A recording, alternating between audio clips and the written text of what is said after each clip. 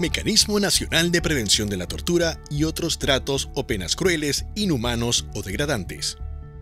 Órgano de supervisión y monitoreo independiente de los poderes del Estado que tiene como función prevenir prácticas de tortura y otros tratos o penas crueles, inhumanos o degradantes, que vulneran derechos fundamentales intrínsecos como la dignidad, integridad y vida.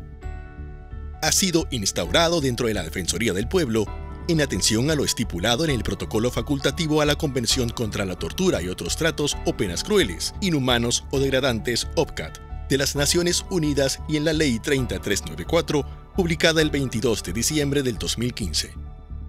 La Ley 3394 amplía las funciones de la Defensoría del Pueblo y la asigna como órgano encargado de la implementación y ejecución del MNPT, estableciendo sus garantías, funciones y atribuciones. Funciones del MNPT.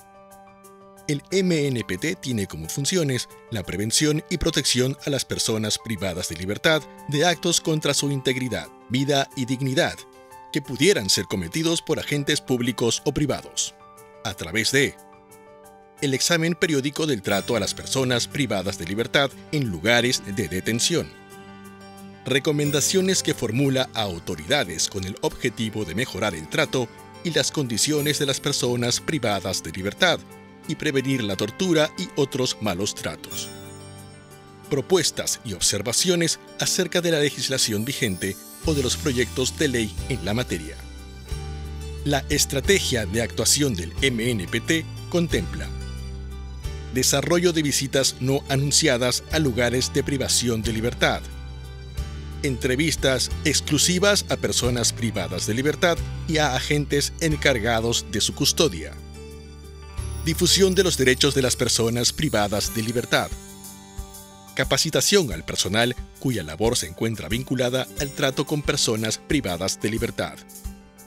Mediante propuestas normativas sobre el trato a personas privadas de libertad, atención de víctimas de tortura y malos tratos recabando información de las instituciones públicas o privadas para el cumplimiento de sus funciones. Con ello se busca prevenir la comisión de actos de tortura y otros tratos o penas crueles, inhumanos o degradantes. Identificar y conocer los motivos que generan peligro o vulneración de los derechos de las personas privadas de libertad. Y se previene la vulneración de los derechos a la integridad personal, el uso desproporcionado de la fuerza por parte de las personas encargadas de la custodia de las personas privadas de libertad y otros actos que lesionen la dignidad e integridad de la persona humana. Grupo de protección. Los y las internas e internos en establecimientos penitenciarios. Adolescentes en centros juveniles niñas, niños y adolescentes en centros de acogida, personas en situación de internamiento voluntario o detención en escuelas de las Fuerzas Armadas y Fuerzas Policiales, personas con discapacidad psicosocial internadas en instituciones psiquiátricas, otros grupos específicos como personas de pueblos indígenas, LGTBI, entre otros, que se encuentren privados de libertad.